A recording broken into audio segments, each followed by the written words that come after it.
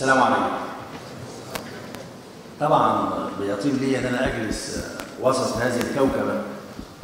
فكرية طبعا في علم إنساني آه، وسط زملائي. واسمحوا لي أقول إن أنا قاعد وسط زملائي وإخواني وأبنائي. أنا راجل ده بتاع الستينات يعني. وعندي أولاد اتخرجوا دكاترة. فاسمحوا لي أتكلم معاكم بلغة الأخ والزميل والأب والصديق. إحنا جاي النهارده مش هنكرر اللي كان اللي درسناه. فاللي كان في الكتب المفترض انكم خدتوه وعرفتوه. إحنا جاي النهارده عاوزين نتعامل مع علم الحياة الفعلي الحياة اللي إحنا فيها دي بقى. اللي إحنا درسناه كان إيه؟ واللي جاي. وإحنا عاوزين نكون إيه؟ المستهدف من اللقاء ده إيه؟ نقعد مع بعض نتعرف ونتناقش حوار الزملاء حوار الإخوة حوار الاباء مع الأبناء. عاوزين نخرج إيه إيه المنتج اللي أنا عاوز أسوقه للسوق؟ بالتأكيد والكلام عاوز أطلع منتج إيه راجل متمكن نصف متمكن نصف متعلم المادة اللي هتخرج من تحت إيدي من تحت إيد زملائي شكلها إيه؟ حق المجتمع علي إن أنا أخرج له مادة شكلها إيه؟ مادة تدقق الفهم وتعمل الفكر وقبل ما ابدا المحاضرة كنت في اسكندرية من حوالي ثلاث أيام بلقي محاضرة في إحدى الأماكن فكان مفهومها المفهوم المقاصدي لعلم الحياة إحنا عاوزين إيه في الدين دي؟ عاوزين نتعلم؟ أنا كمحامي كرجل القضاء دوري فهم النصوص شكله إزاي فوجدت ملاحظة جديدة بالاعتبار نزلت عليها بوست امبارح. جاي لي عليه النهارده 210 تعليق 209 مدح وواحد سب وشك بلا حدود. أبص للست ويشتم ده لقيته محامي. خلي بالك. البوست كان عبارة عن إيه؟ بقول لهم احذروا الخلط بين فهم النصوص فهم النصوص والنصوص. احذروا الخلط بين الفقه والشرع. فليس كل ما يقوله الفقيه هو الشرع. وإلا كنا توقفنا عند زمن معين عند زمن أئمتنا الكبار أبو حنيفة ومالك والشافعي والليث وخلافه. فلكل زمن رجاله فليس كل ما يقوله الفقيه هو عين الشرع. لا. ومن هنا كنا ندرس لكم في الفقه وأصوله. وكنا هذه المادة الهدف منها أنك يا رجل القانون تدقق الفهم. فالفقه لغة للفهم. افهم. قبل ما تطلق الأحكام. أنا ما بقولكش منكر المهم علقت وكتبت فوجدت زي ما قلت لكم 210 تعليم هذا التعليم منهم فهنا القدر جاي بتناقش مع إخواني المحامين ومنهم هكلم معاهم في إيه؟ بالطبع إحنا في جامعة الأزهر وأنا الماجستير والدكتوراه من فوق القاهرة. لكن في جامعة الأزهر إحنا بندرس كل العلوم وبصفة رئيس قسم مؤصلة بالجانب الشرعي. حتى إن أنا اعرف أكتب مذكره كويس. أكتب حكم كويس. أتناقش معاك إزاي؟ فما أجي النهارده أتكلم معاك في مجال القضاء الإداري. أتكلم معاك في أقرر ما كان ولا أقول لك الاجراءات العملية. كيف تبدع في هذا المجال؟ تبدع في مجال القضاء الإداري. إيه اللي يجب أن تعرفه عن القضاء الإداري؟ درست انت اختصاصاته اختصاص مجلس الدولة. طيب. درسنا دور مجلس الدولة في الإلغاء والتعويض. وأضيف إليه التأديب. لكن في حاجات كتيرة استجدت في أمور سحبت من القضاء. ودي أنتوا لازم تلتفتوا النظر إليها وتشتغلوا فيها كويس جدا. قانون الرياضة قانون الرياضة سحب وهم سابت قرار إداري لا ما بقتش الطعن فيه أمام مجلس الدولة. بقى الطعن فيه أمام اللجان اللجنة الأولمبية وليه شكل معين؟ إذا لازم اتناقش معاكم في قانون الاستثمار الرياضي ده أصبح النهاردة الرياضة بيزنس وسوق. طب ما تتخصص فيه. وتقرأ فيه. كم واحد من اللي قاعدين عنده علم بهذا القانون؟ قلة كم واحد اشتغل فيه؟ قلة كذلك التحكيم والتسويق. لازم نعرف الأمور دي. قبل كل ده وقبل ما ادخل في الموضوع دايما, أنت كرجل القضاء واقف. ليك دور في المجتمع.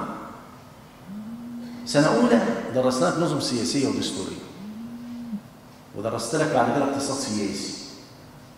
ثم مالية عامة وتشريع ضريبي ومنظمات دولية وقانون دولي. ليه؟ علشان إيه؟ أنت هتكون صانع تشريع. وتصنع قانون. بتحلل قرار. وبناء عليه المحامي الناجح أو رجل القضاء الواقف الناجح. اللي يكون قارئ للمجتمع قراءة جيدة. قبل ما تلفظ المفردة أكون قارئ البعد السياسي للكلمة اللي هقولها. أنت المحامي بالذات. أكون قارئ البعد الاجتماعي للكلمة اللي هتطلع من لساني. أكون قارئ البعد الاقتصادي ما أحلمش. أنا فين؟ واقف فين؟ وبناء عليه أقوم محلل أو أسن قانون أو أساهم في إخراج قانون يجب أن أكون قارئا جيدا للأوضاع السياسية والاجتماعية والاقتصادية. دي النصيحة لزملائي. تاني حاجة إن أنت بيحكمك في الحكم على الأشياء التصور الدقيق للحالة فكما يقول فقهاءنا الحكم على الشيء فرع عن تصوره. اوعى تحكم على الشيء بناء على السماع. أو بناء على رؤية واحد غير مبصر. وده ليه سند؟ أو على كلام واحد عنده حجة أقوى منك. وده ليه سند شرعي. ما الرسول صلى الله عليه وسلم يقول لنا إيه؟ إنكم تختصمون إلي.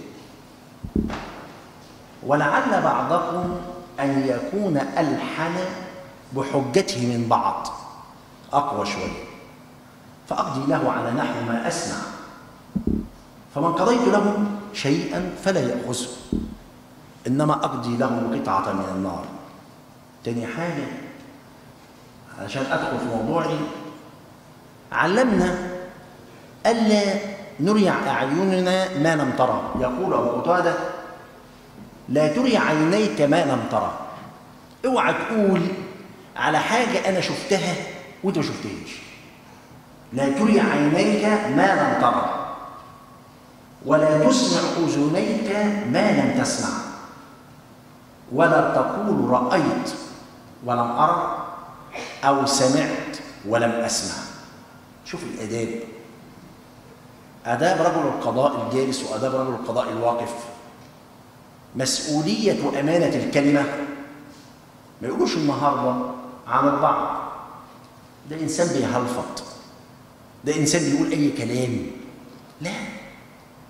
ده أنت درست القانون درست السياسة درست الاقتصاد درست الاجتماع. فيجب أن تكون مسؤولا في كلامك. أدخل على موضوعي بقى. هذه النصيحة أنا بتكلم مع زملائي. وردت بخاطري وأنا جاي من العربية. وشفت راجع البوست لقيت الأخ المحامي اللي بيشتري شتيمة ليه؟ منطلق القانون ده ما جاتش من 209 ليه؟ عام مش فاهم مش داري على كل وما نيجي نتكلم بقى في موضوع القضاء الإداري أنا بحاكم إيه؟ في القضاء الإداري بحاكم إيه؟ ها؟ بحاكم قرار وليه؟ مش في خصومة بين فرد وجماعة طب في القضاء العادي الخصومة بين مين ومين؟ أفراد صح طب في القضاء الإداري ده فرد وجماعة طيب وما أجي النهارده يعني زي بختصم إيه؟ قرار طب إيه شكل القرار؟ في قرار تمهيدي وفي قرار نهائي شكله إيه؟ فما هو مفهوم القرار؟ حد فاكر؟ طبعا لا أنا فاكر وأنا زيكم كده في الليسانس من 31 سنة ها إيه بقى مفهوم القرار إفصاح جهة الإدارة عن إرادتها الملزمة بقصد إحداث أثر قانوني معين متى كان ذلك ممكنا وجائزا قانونا إفصاح. إرادة الإدارة بتطلع. المظهر الخارجي بتاعها بتطلع قرار. عن إرادتها إيه؟ الاختيارية ولا الإلزامية؟ الإلزامية. طلع قرار بتعيينك. هطلع قرار بتخطيك في الترقية. هطلع قرار بفصلك. إذا أفصحت جهه الإدارة عن إرادتها الملزمة. بقصد إيه؟ إحداث أثر قانوني معين. يشترط فيه أمرين. يشترط فيه أمرين. الإمكان والمشروعية. الإمكان والمشروعية. يجب أن يكون قرارك مشروع. وعندما أقول قرار مشروع يعني لا يصطدم مع إيه؟ بالتضرر كده. لا يصطدم مع إيه؟ ها؟ مع القانون ولا مع الدستور؟ مع القانون. وبدوره القانون لا يصطدم مع إيه؟ ولا إيه؟ القرار لا يصطدم بإيه؟ باللائحة ولا بالقانون. ها؟ مش درستوا اللوائح؟ مش اللوائح دي بتعملها السلطة التنفيذية؟ من خلال القانون. إذا لابد وان يكون القرار متفقا مع اللائحة. واللائحة بدورها متفقة مع إيه؟ مع القانون. والقانون بدوره مختلف متفق مع إيه؟ مع الدستور.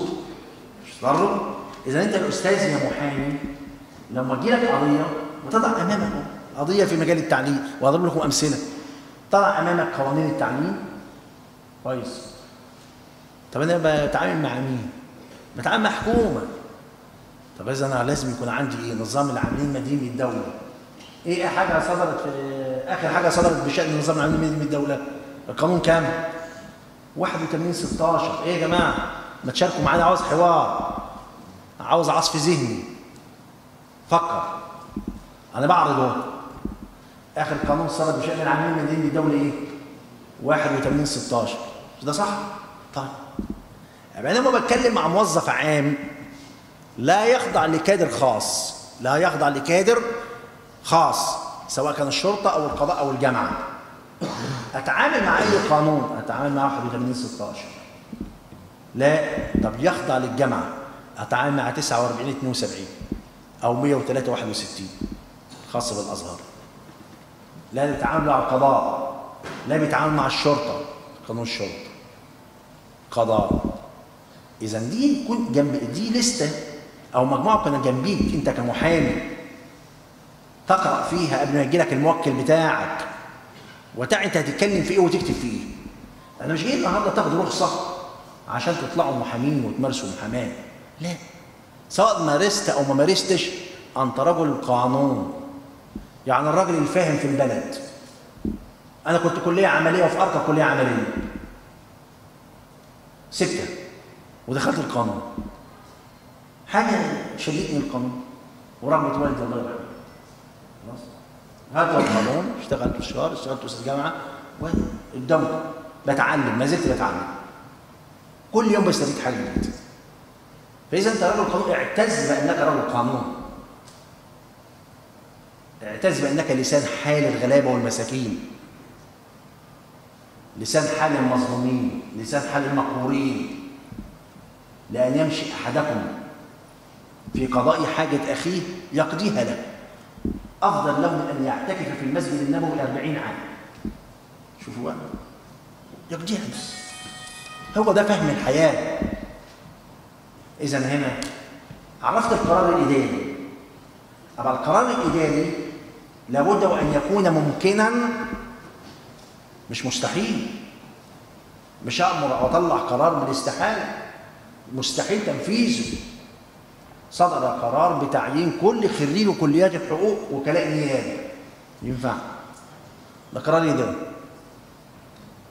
هل ده ممكن؟ إذا القرار في شيء استحالة. لابد أن يكون القرار ممكنا مشروعا. لا يصطدم مع لائحة وبدوري مع لا مع قانون ولا مع دستور. طيب. صدر القرار الإداري صحيحا. بالعكس صدر القرار الإداري معيبا. كيف يكون صحيحا؟ أتعامل معاه إزاي؟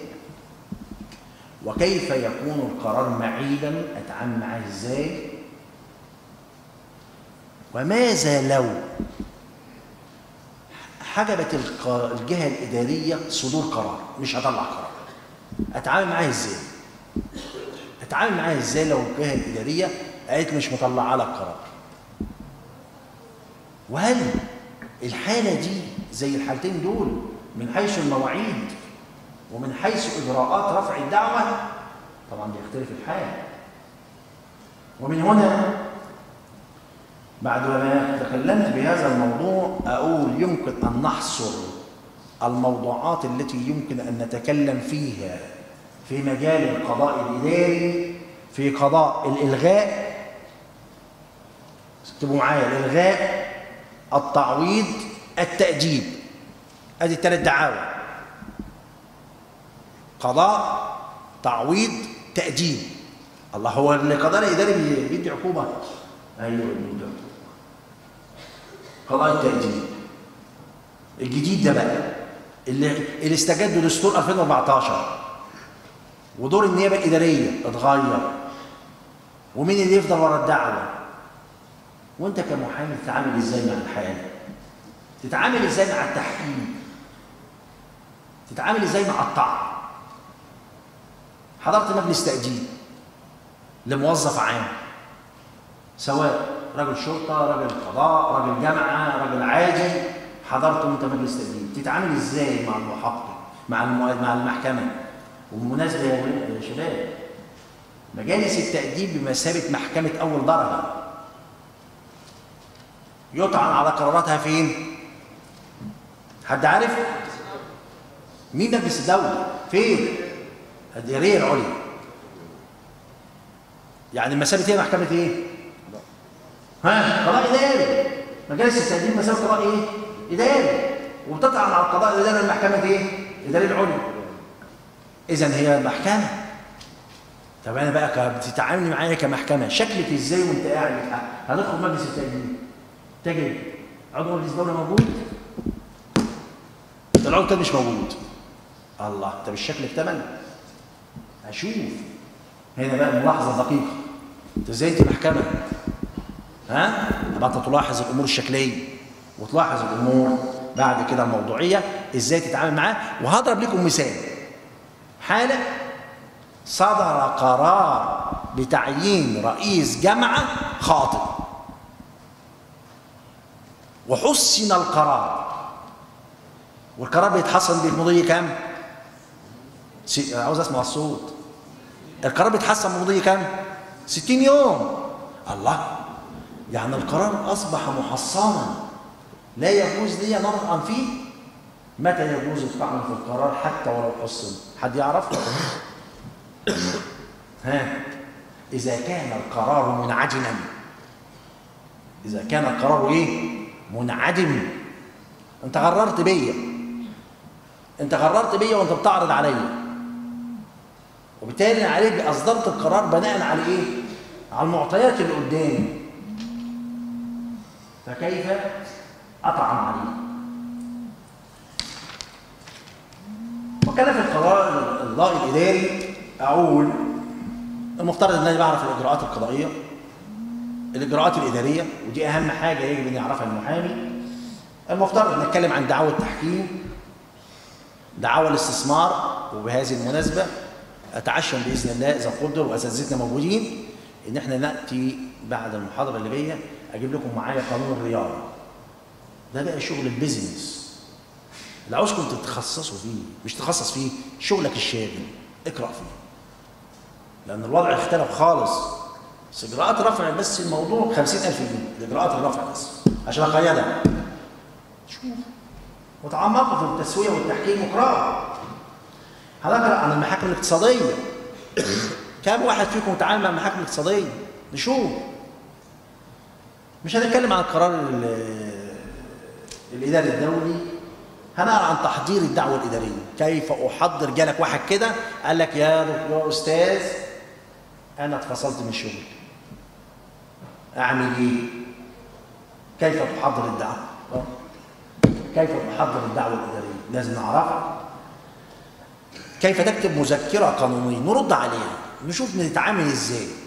وأنتم عارفين مجلس الدولة المرافعات فيه مرافعات إيه؟ في مرافعات شفوية كتابية مذكرات كتابية. كيف تتعامل معاه بقى عامل في حرفيه في التعامل. ها؟ هو بيعاملك باسلوبه وأنت تتعامل بأسلوبه. آه كيف اطعن امام مجلس الدولة؟ وكيف أجدد؟ ودي يجب أن تنتبهوا إليها كويس جدا. درستوا أنتوا في القرار الإداري امتناع السلبي امتناع الإدارة السلبي أنا راجل مشيت أنت أصدرت ايتها الإدارة قرار بتخطية في الترقية. بتخطية في الترقية. الدور اللي أنا بعمله يجب خلي بالك ما بقولش يجوز يجب أن أتظلم من القرار في الموعد. كام الموعد. 60 إيه؟ يوم. طب التظلم هنا عملنا إيه؟ قطع المدة ما قطعهاش. قطع. طب التظلم هنا وجوبي ولا اختياري؟ هنعرف. لو تظلم وجوبي. تظلم إيه؟ لازم تتظلم. شكل التظلم إزاي؟ نعرف. المهم؟ الجماعه أصحابنا؟ صدر اصدروا القرار الجهة الإدارية. بتخطيك في الترقية بعدم تعليمك بفصلك ثم امتنعوا من الرد عليك. أو امتنعوا من إصدار قرار. أعمل إيه؟ بسميه امتناع سلبي امتناع الإدارة السلبي عن إصدار قرار لا يتقيد بالمواعيد. مفيش مواعيد. مفيش إيه؟ مواعيد لا. ده هنعرفه دي الموضوعات دي كنا بنتكلم عنها. كما إنك بنتكلم في القضاء العادي عن طرق الطعن في الأحكام. فبتقول الطعن بالاستئناف الطعن بالنقض ها؟ كذلك تتكلم في القضاء الإداري كيف أطعن على الأحكام. حكم صدر المحكمه الإدارية. أطعن فيه فين حكم صدر المحكمة القضاء الاداري أطعن فيه قدام مين؟ طب حكم الصدمه الاداريه العليا. أعمل معاه أتعامل معاه إزاي؟ ابقى هنا كان درست طرق الطعن في الأحكام أمام القضاء العادي. ندرس طرق الطعن في الأحكام أمام القضاء الإداري. أنتوا عارفين طبعا اختصاصات محاكم مجلس الدولة. أذكر منها الحاجات اللي تعرفوها يعني. المنازعات الخاصة بالمرتبات بالمعاشات بالمكافآت المستحقة للموظف العمومي. الموظف العمومي. وهنا يحضرني سؤال. طب إيه دور الجمعيات والنقابات؟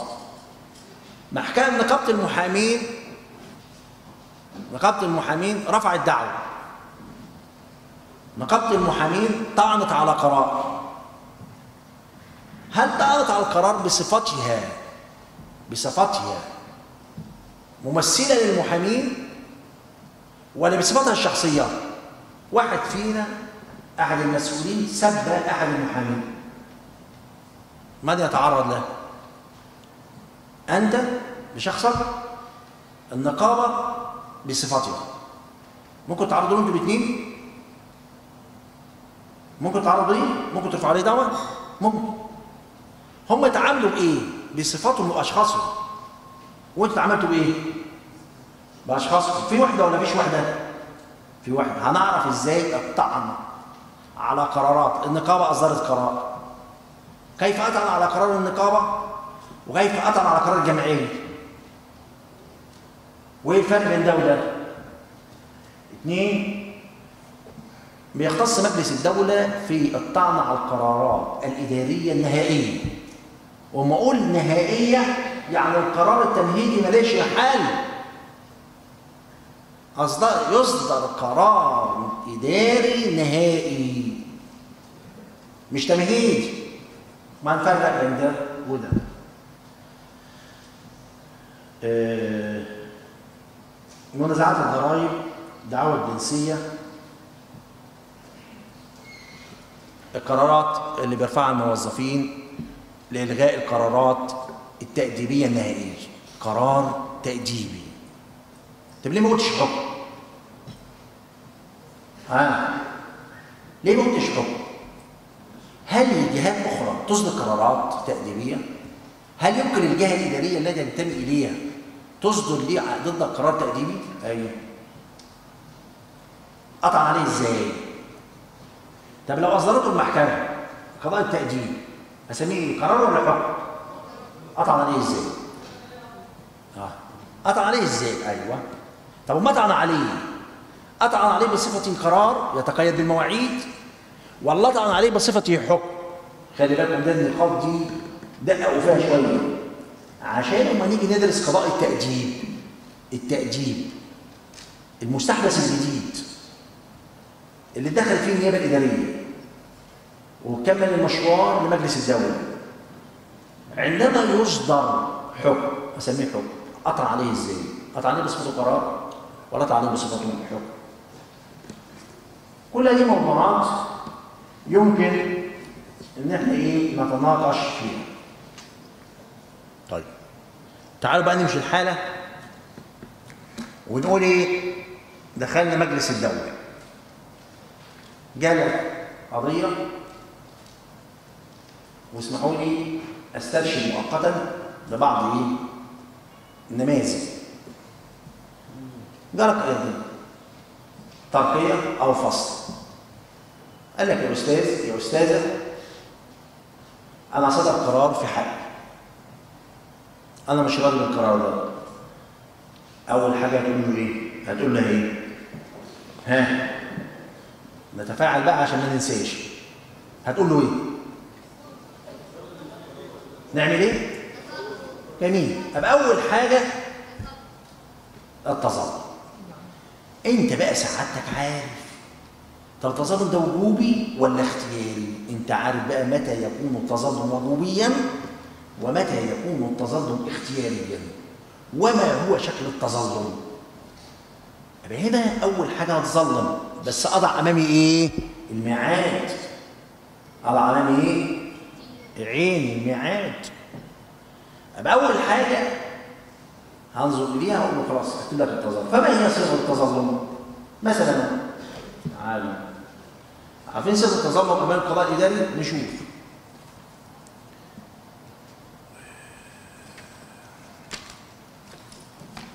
بنكتب إيه؟ تظلم وجوبي السيد الأستاذ تعالوا نتخيل أن القرار صدر من رئيس إحدى الجامعات. وبالمناسبة بقى تعالوا نتعايش مع قضية بتضم كل هذا الموضوع. ونخرج في النهاية. مين اللي صح؟ حكم المحكمة أم رؤية المحامي؟ في غضون العام 2017 صدر قرار بتعيين. ده اللي كان طعن على القرار الأول. مصلحته. انتهت بتعيين هذا الرجل رئيسا للجامعة قرار جمهوري ولا ما زالت مصلحته قائمة في إلغاء القرار بتخطيه في التعيين؟ اتفضل يعني هنا أصلا مفيش محل للقرار الأول؟ موافقين يا جماعة؟ ها؟ التظالم ما التخطي بس هنا الطعن بقى هل يقول لك الطعن في القرار الإداري الأول ليه محل؟ هو عاوز إيه؟ هل معلش ها؟ عاوز يكون رئيس جامعة يعني هنا يستغني عن الطعن الأول بالطعن الثاني؟ يمكن؟ طب لو قلنا كده هنعمل إيه في التظلم؟ من مصلحة هنا موكلك خلي بالك بقى انت فوتت ميعاد التظلم من مصلحة الموكل بتاعك إنه يتمسك بالطعن في القرار الأول ولا ما يتمسكش بيه؟ ليه؟ ها؟ عشان إيه؟ عشان تظلم ما ما تظلمش في القرار الثاني هو تظلم في القرار إيه؟ أو مصلحته التمسك بإيه؟ بسريان الدعويين ولا باتفاق دعوة واحدة؟ هنا بقى شغل المحامي. شغل إيه؟ المحامي. ومن يتكلم؟ المحامي عارف المحامي ان وكيله أخطأ ولا ما أخطأش؟ أخطأ. طب أنا عايز أعوض دي بقى. وتتظلم وجوبي. تظلم إيه؟ وجوبي. تخطى في التعيين فهنا تظلمت. فمصلحة المحامي أن يتمسك بإيه؟ بسريان الدعويين وبالفعل كتب فيهم تقريرين. كتب فيهم تقريرين.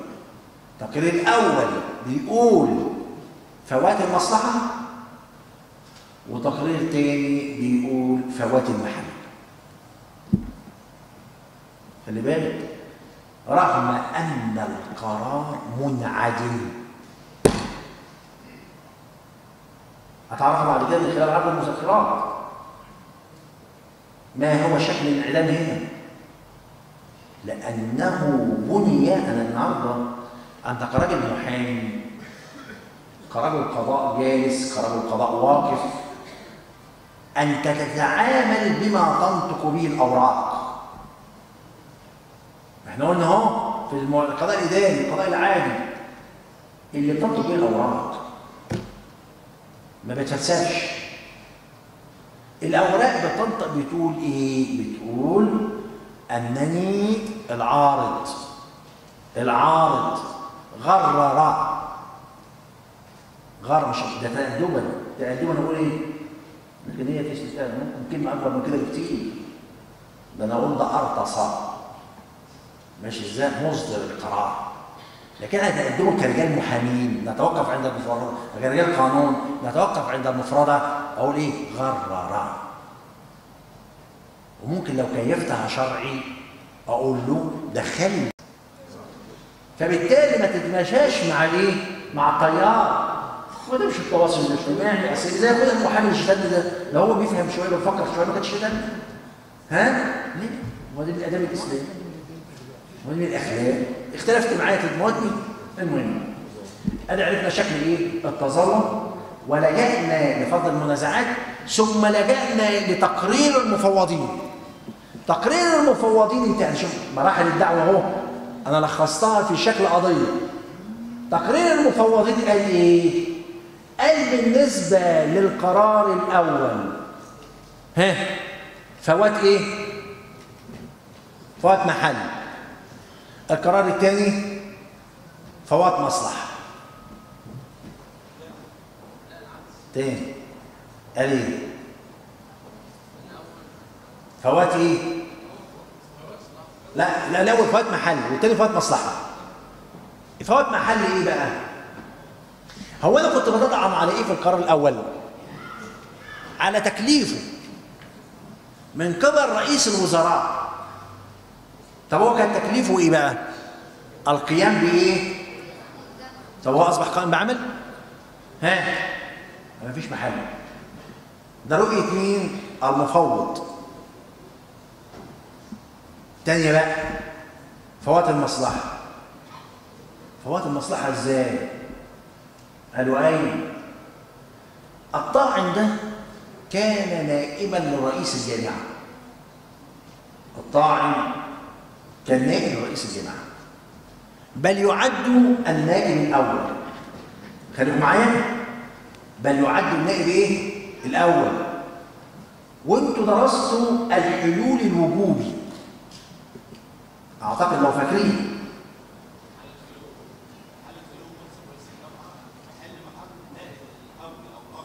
ده اسمه الحلول إيه؟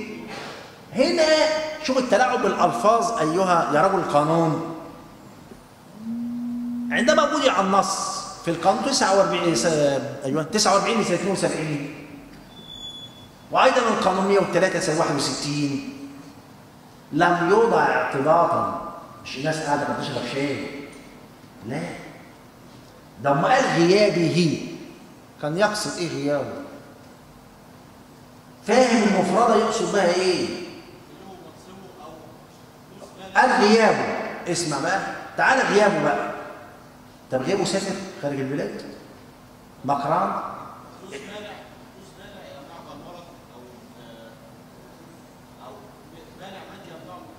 يعني كلمة إيه؟ تحتمل أكثر من إيه؟ متسعة ولا ضيقة؟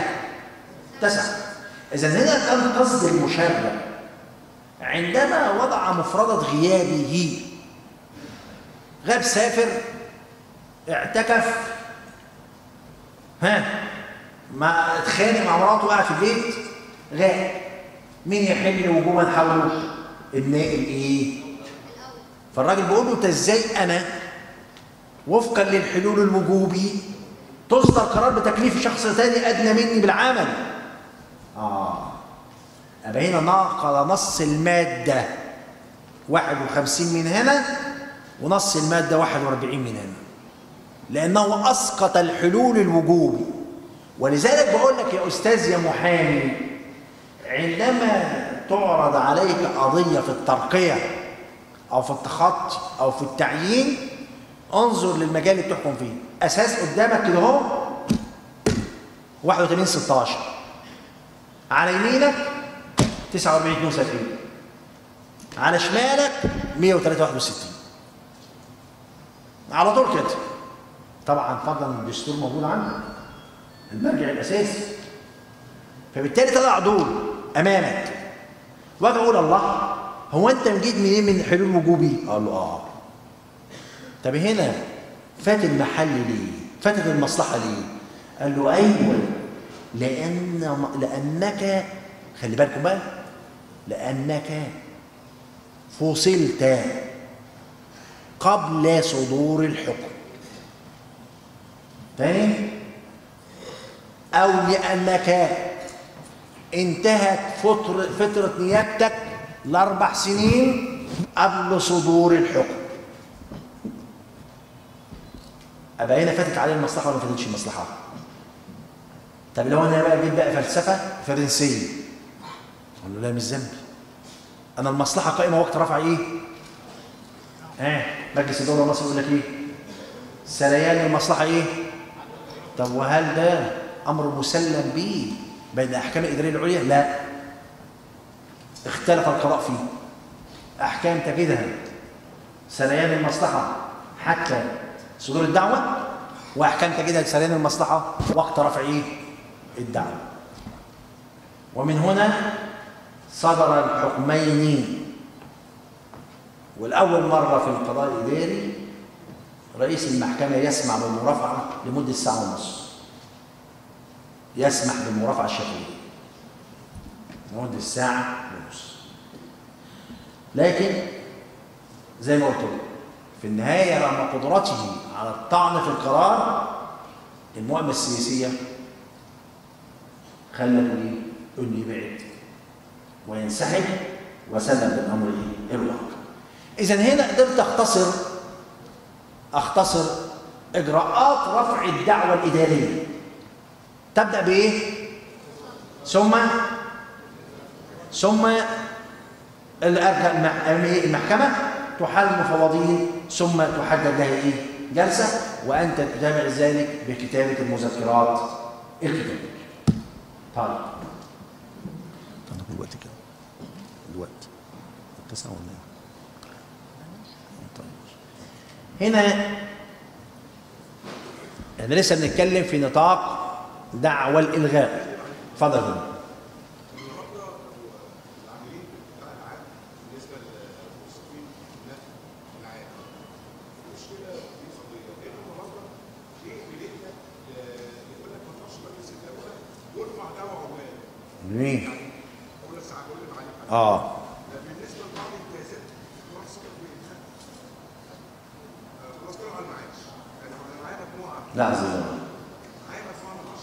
الالغاء اتفضل يا فندم. جميل آه لا عز وجل نعم قال لك إيه؟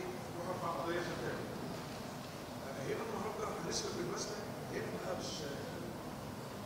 مش مش آه عشان كده في بداية ال- المحاضرة قلت لك أما نرجع كنقابة نرجع لمجلس الدولة وجمعية نرجع لمجلس الدولة الشكل هيكون إزاي؟ ولا نلجأ إيه؟ يحاكم بمقتضى القانون 2002 112 2002 قانون العمال ولا إيه؟ هنشوف فلما اعرض عليك رفع الدعوة في الحل. ما أنا أقول لك هي حتى نص عليها في الكتاب ده.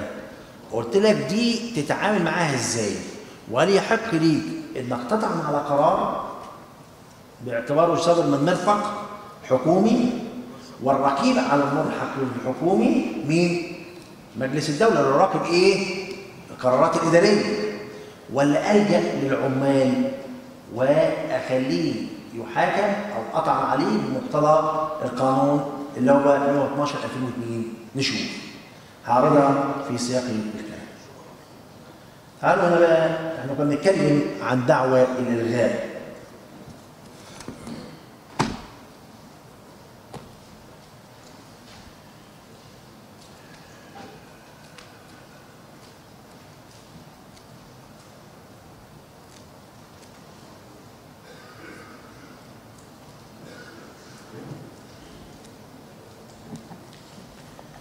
قبل ما اخرج من التظلم؟ في سؤال. إحنا قلنا إحنا بندرس كام دعوة؟ دعوة إيه وإيه وإيه؟ إلغاء تعويض تأديب قضاء التأديب ده في الآخر. هل يشترط في دعوى التعويض ما يشترط في دعوى الإلغاء؟ تاني بقى. أنا قلت في دعوى الإلغاء بمشي على نمط معين. تظلم وجوبي ثم فض المنازعات ثم إجراءات معينة في رفع الدعوه الاداريه إمام مجلس الدولة. هل يشترط ده في دعوى التعويض ما إحنا قلنا القضاء الإداري إيه يا شباب؟ إلغاء وتعويض. يا يلغي لك قرار يا يعوضك عن القرار. نتيجة إيه؟ ما أصابك من خساره وما فاتك من كذب. ها؟ هنا. هل يشترط هذه الإجراءات في دعوى التعويض كدعوى الالغاء نقول هنا بقى وفقا للمكتوب البين أن المشرع وتبعه في ذلك الفقه والقضاء في مصر. أبقى هنا بستبعد الفقه والقضاء الفرنسي. بقول لك بقى اللي بيحصل في مصر في دعوة التعويض في الحقيقة لم يولوا عنايتهم بهذا الأمر. وانتوا درستوا يا شباب المنطوق والمسكوت عنه. ولا نسيتوا بقى في اصول الفقه. المنطوق والمسكوت. ما هو شوف بقى كل الدراسة كلها بتكمل بعضها إزاي؟ المنطوق والمسكوت. أقيس عليه؟ أقيس على المنطوق ولا أسكت على أقيس على المسكوت؟ ولا ده بيعبر عن ده؟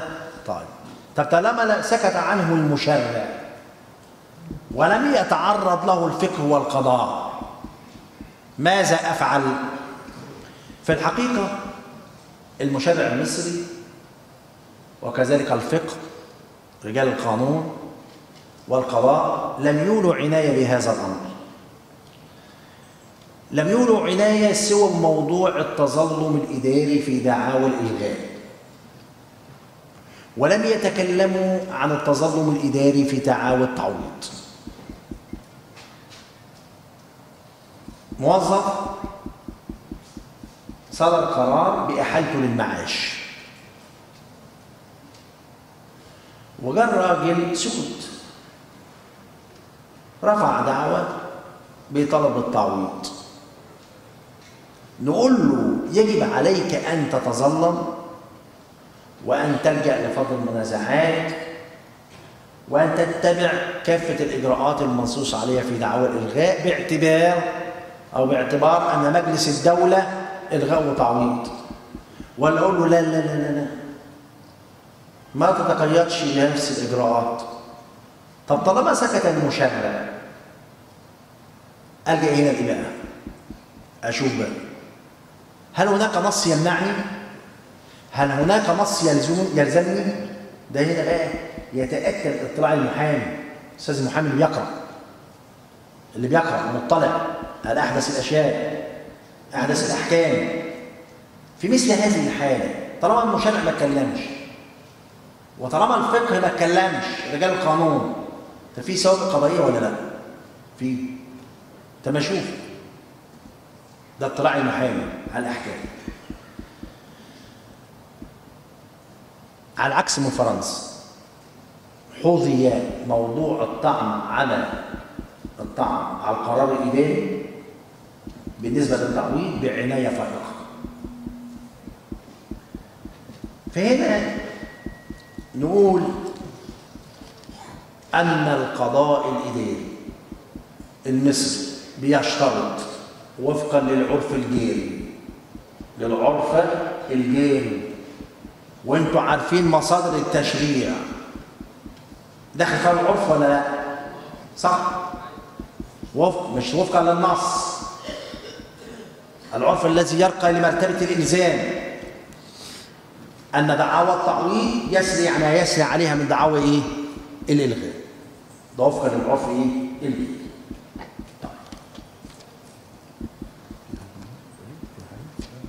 طيب.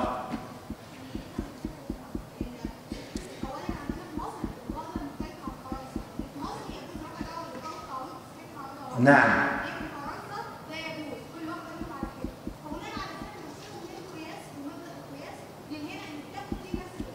لو ساعتك شوفي يمكن أن ترفعي دعوة للتعويض مرفقة بدعوه إيه؟ الالغاء وممكن أن ترفعي دعوة التعويض مستقلة عن دعوة.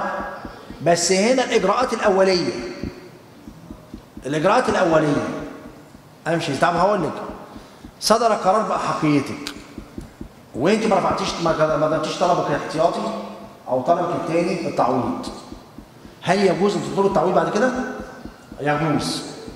يجوز ان طلب إيه؟ بتعويض يعني اذا الدعوة التعويض يمكن أن ترفع مرفقة بدعوه إيه؟ الالغاء ويمكن أن ترفع مستقلة عن دعوة إيه؟ الالغاء أخذنا ده منين؟ من نص المشرع ولا من العرف؟ الذي ارتقى إلى مرتبة الإلزام مفيش نص عليه بخلاف التظلم إيه؟ والإجراءات الأخرى في إيه دعاوى الالغاء طيب هنا في شكليات جوهرية نتحسسها عند رفع الدعوة. يقول لك مثلا إيه؟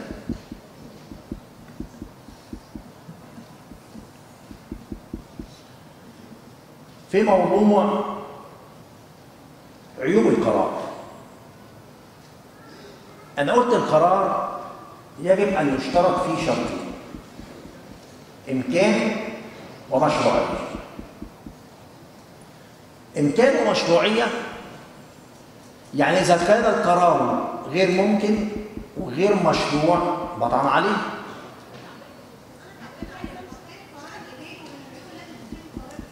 نعم. أستاذنك يا أستاذ. حاضر. حضرتك هتتفضلي؟ بس إحنا هنقول اهو للاساتذه عشان نبقى متفقين على النظام. إحنا عندنا المحاضرة من الساعة 2 ل 4 عشان زمايلكم يجوا الساعة 2 وينتظروا نص ساعة عشان تبدأ المحاضرة حرام إن هو ينتظر. خلاص ربع ساعة. فاحنا بالنسبة لنا الساعة 2 2 ونص هنقفل البصمة بره. يعني جه بعد 2 ونص مش هيوصل يدخل. معايا؟ وبالتالي لغايه الساعة 4 بابنا ده مقفول عفوا.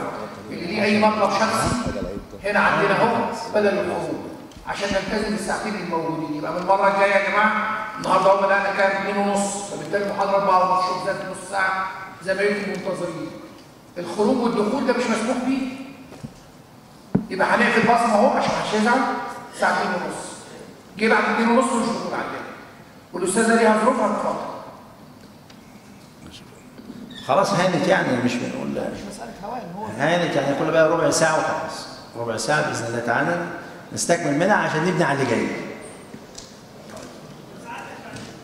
نعم. تعالوا. اتفضل.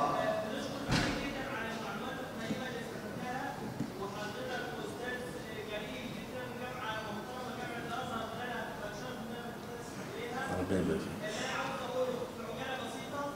هو انه إحنا جايين معهد محاماه مش عشان ليس بس مش عشان نسمع بس إحنا جايين عشان نتعلم حاجة جديده ما اتعلمناهاش في الجامعة أنا كان ممكن اطلع كورس بره والاستاذ يحاضرني وأنا اسمع منه واطلع امتحان واطلع بدرجات كبيره بس إحنا مش جايين عشان ناخد درجه بس إحنا جايين نسمع حضرتك وشفنا لنا الشرف وجايين كمان عشان نقول وحضرتك بتسمعونا إحنا مش جايين بس نفتح كتاب ونقول اللي فيه إحنا جايين نسمع من أستاذ جليل وقت ومحاسبه أستاذ قاضي جليل وعارف نتناقش معاه وأنا جاي استفيد من حضرتك مش جاي بس اسمع كتب ما قدامي ممكن اقراها كلام حضرتك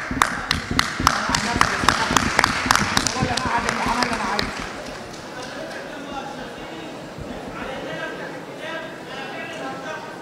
السؤال يا جماعة نسمع بعض تعالوا نسمع بعض. نسمع بعض. أنا هرد على حضرتك وهرد هرد على الاستاذ بعد بعد الأستاذ الدكتور ما يخلص. بعد ما الأستاذ الدكتور يخلص أنا جاي لك مخصوص عشان الحتة دي. عشان الحتة دي.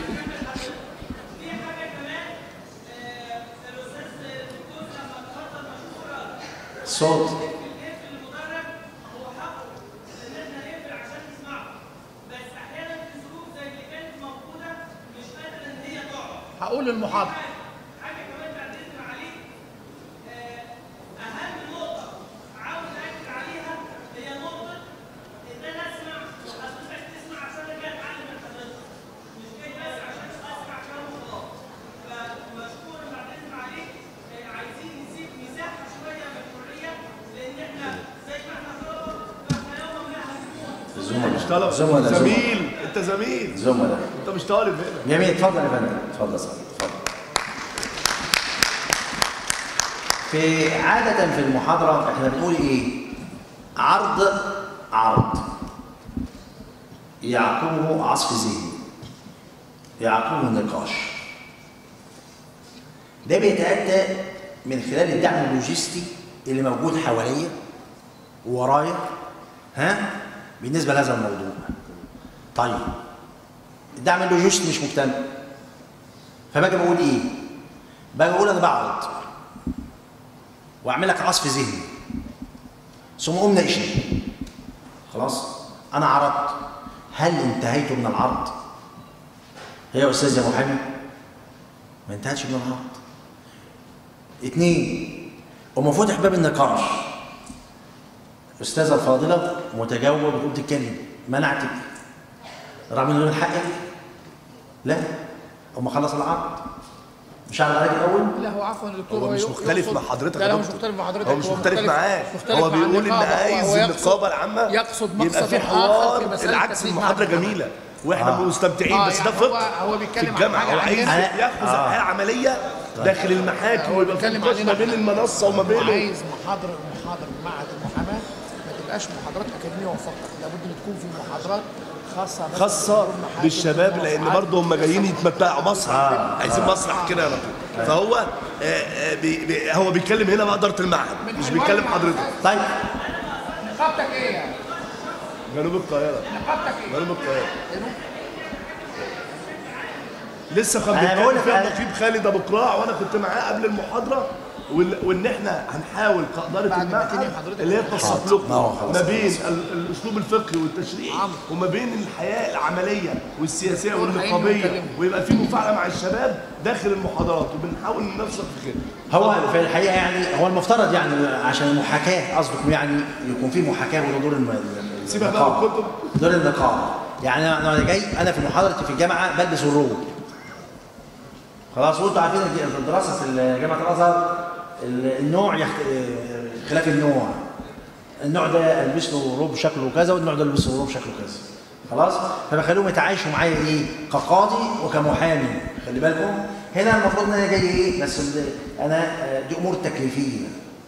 أمور تكليفية. أنا هنا ألتزم بما تراه القاضي أقعد يا دكتور على الكرسي ده أقعد على الكرسي ده. أقعد هنا أقعد هنا. خلاص ألتزم. ما اناقش هم أدرى يقضي علم بس. فأنا بقول لسعادتك إحنا عرضنا عرضنا. ثم بيع أثناء العرض كان في عصر أنت بتفكر. وأنا شايف الوجوه شايف ناس نايمة وشايف 99% صاحيين آه ال 99% دول لو فيهم آه، 50% منتبه وبيحاور أنا نجحت. مع سعادتك أبقى هنا عرض آه، ممزوج بعصف ذهني. ثم النقاش. طب أنا هتناقش في إيه؟ ده السؤال بقى. في موضوعات عامة ولا موضوع المحاضره في نهاية حديثي أنا بشكركم على حسن الاستماع وسعيد بكم النهارده وسامحوني إذا كان السلام عليكم ورحمة الله.